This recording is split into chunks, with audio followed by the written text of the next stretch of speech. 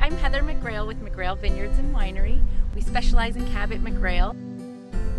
We planted the vineyard back in 1999. My parents had a dream to plant a vineyard, and so after we had the soil tested and lots of help from a lot of our friendly neighbors, we decided to plant 100% Cabernet Sauvignon.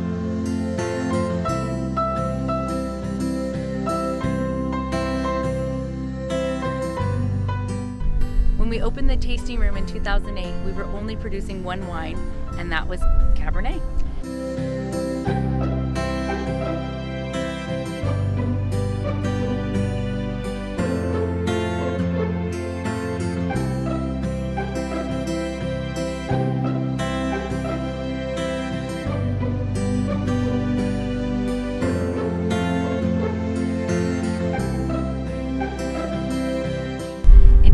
2012, our Cabernet Sauvignon Reserve won the best red wine with the San Francisco Chronicle, and that kind of put us on the map and got us started.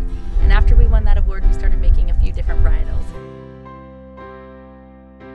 We still focus on the Bordeaux varietals, so we make uh, a couple different red blends. We make Malbec, Merlot, about nine different Cabernet Sauvignons that we make here.